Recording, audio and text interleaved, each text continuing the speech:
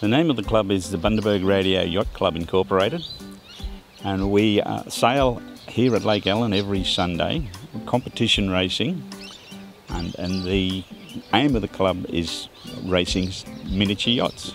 We use Lake Ellen for our racing. It's, it's a very good position for us. Um, it's an easily accessible lake.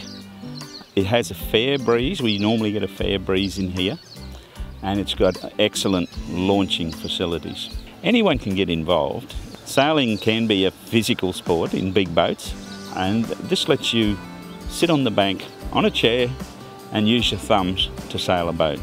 It's, it's very enjoyable.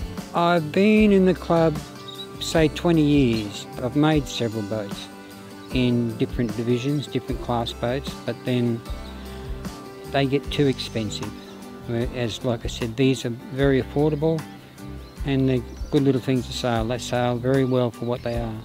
We have struggled over the years with membership, but with the introduction of these smaller, cheaper boats, we're having a real boost in our membership at the moment. At the end of last year we had 12 members, at the moment we've got 24. So we've really boosted our membership and uh, people are enjoying it.